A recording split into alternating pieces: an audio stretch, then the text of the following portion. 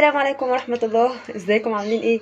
آه إيه رأيكم؟ نعمل النهاردة وجبة حلوة كده زي ما أنتم شايفين. تعالوا نولع النار بتاعتنا كده. وأنا أقول لكم إيه؟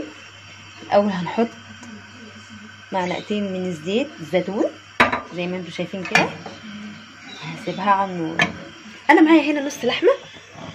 آه هي بفتيك بس أنا مقطعاها كده بالحجم ده كده زي ما أنتم شايفين أهو. بس البفتيك بتاعها أنا مقطعاه السمك بتاعه عالي شوية مش اللي هو البفتيك الرفيع دوت عشان أنا عايزاه كده. شايفين أنا مقطعاها إزاي؟ واخداها ومقطعاها في البيت تاني يعني هو بيداني حتة كبيرة كده وأنا بقطعها بالشكل ده كده. أنا عايزاها تبقى كده وعندي بصل وعندي جزر وعندي فلفل ألوان وعندي طماطم مكعبات صغنونة أهي. تعالوا بقول لكم هنعمل إيه. أنا الزيت بتاعي أهو على النار. هاخد اللحمة بتاعتي كده وهنزل بيها. هسيبها بقى تتشوح في الزيت كده. الأكلة دي من أكلات العيد يا جماعة ومن الأكلات اللي مش هتاخد معاكي وقت آه وبسرعة وسريعة جدا جدا جدا. مش هتعمل معانا غلبة بقى في حاجة عشان أنتوا عارفين بقى بتوع العيد دول مش عايزين إيه. أنا لسه هطبخ بقى ولسه هو أنا فاضي الكلام الفاضي ده بس. لا أنا خلصت بسرعة خلاص أهو. أهو. سيبها كده على النار شوية. الزيت معلقتين زيت زيتون على نص لحمة بفتيك زي ما أنتم شايفينها كده. عايزة تقطعيها رفيعة كمان عن كده قطعيها. مش عايزة براحتك خالص بس هي كده السمك بتاعها حلو قوي وجميل جدا. ومش هياخد معاكي وقت في الطياب كمان. البفتيك يا جماعة من الأكلات اللي ما بتاخدش معايا وقت أصلا في السوا. شايفين التقطيع أنا مقطعه إزاي؟ شايفين؟ أنا عايزاه كده وده كمان شكل متغير عن البفتيك اللي إحنا متعودين عليه ان أنا هعمله في صينية وهعمل معاه خضار وحاجات آه ليها طرق كتير جدا و... وأشكال كتير جدا وأطعمة مختلفة جدا. وده طعم برده مختلف خالص هيعجبكم قوي بس جربوه. أنا مهدية النار في الأول كده زي ما أنتم شايفين وبقلبها على الوشين. بصوا بقى كده وهي على النار. هنزل بورقتين لورا كده. ما عنديش مش مشكلة.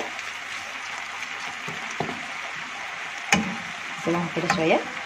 أنا عندي هنا بصلاية متقطعة جوانح بالشكل دوت كده زي ما أنتم شايفين. أهو. دول بصلتين متوسطين. دي جزراية. ده فلفل ألوان أحمر وأخضر واصفر ومعايا طماطماية كبيرة مقطعاها مكعبات صغيرة كده زي ما أنتم شايفين.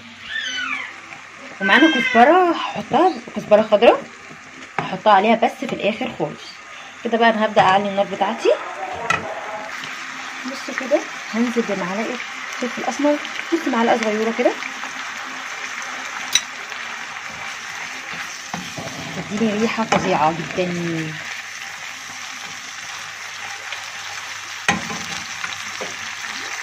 بصوا يا جماعة اللحمة بتاعتي بعد ما استوت شوية ما كشتش شايفين؟ الحتة بحتتها زي ما أنا مقطعاها أهي. ومحتفظه بسمكتها كمان. عودي نفسك لما تبقي جايبة اللحمة من عند الجزار. آه خليه يقطع لك حتة نضيفه وبعد كده حطيها في التلاجة شوية. لازم تحطيها في التلاجة شوية بعد ما تجيبيها. ده بيحافظ عليها كمان بيحافظ على اللحمة وانت بتعمليها. بصوا كده. إحنا وصلنا لنص السياق أنا عندي هنا صويا صوص أحط معلقة بس كده. الصويا صوص ده يا جماعة حلو قوي على الأكل. لو ما عنديش صويا هحط معلقة سكر ومعلقة خل. زي ما أنتم شايفين كده. بصوا بيغير اللون إزاي وبعدين بيساعدني إن هو يطيب الأكل بتاعي بسرعة.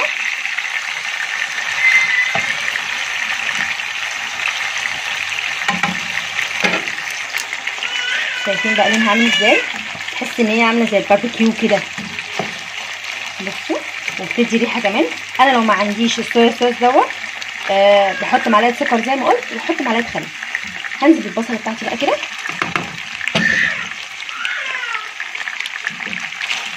ننزلها عليها كده.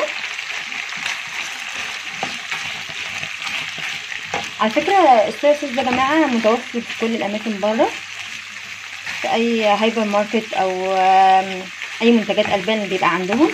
وبأسعار كتير وفي التقيل وفي الخفيف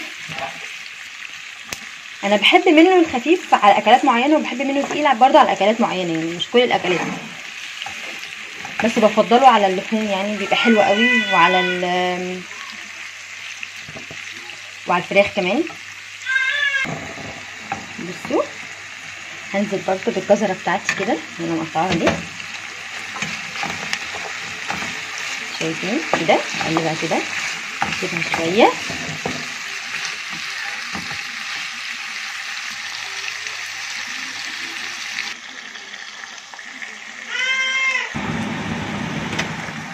بس لو حسيت إن هي عايزة مية حط لها.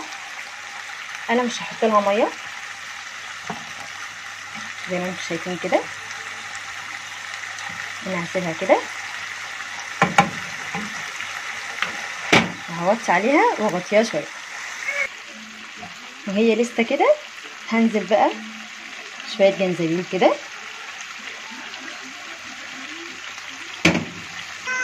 بصوا وشويه من القرفة صغننين وهقلبها كده. واسيبها برضو شوية. هنا أنا ممكن أحط لها سنه مية صغيرة خالص عندي. بس كده. وهسيبها في المية دي شوية قبل ما أحط أي حاجة تانية. كده بقى هنزل بالفلفل بتاعي. اديلها تقليبة كده. نفس الطريقة كده.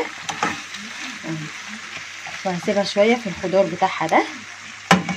وهغطي عليه.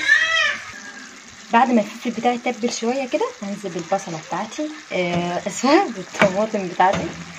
كده. هسيبها بس على وشها شوية كده. وهغطيها هنديلها بقى تقليبة كده. بصوا الخضار بتاعي أصلا والطماطم كله نزل مية إزاي. فأنا مش محتاجة إن أنا أحط مية غير الحبة اللي أنا حطيتهم صغيرين دول. وهسيبها كده مع ميتها وحلاوتها كده. هنزل بالكزبرة الخضراء بتاعتي شوية كده. وهسيبهم على وشها. ومش هحط الملح خالص دلوقتي شوية كده. وارجع أحط الملح بتاعي بصوا بقى كده شايفين شكل الخضر بتاعي؟ أهو. الريحه فظيعة جدا. ريحتها حلوة قوي. هاخد بقى معلقة ملح صغيرة كده. معلقة فلفل أسمر صغيرة. وهقلبهم مع بعض. وهوطي عليها خالص عشان هي دخلت في مرحله في المرحلة بتاعت السوا بتاعتها. بعد كده هرجع أقدمها معاكم. أنا هسيبها بس عشر دقايق على النار وأقدمها لكم وأوريكم بتتقدم إيه. رأيكم بقى كده؟ شايفين اللحمة بعد ما استوت عامله إزاي؟ شايفين الخضار؟ إيه رأيكم بقى في الجمال؟ ريحة وطعم ونظافة مفيش بعد كده. هي بتتقدم بالطريقة دي كده يا جماعة.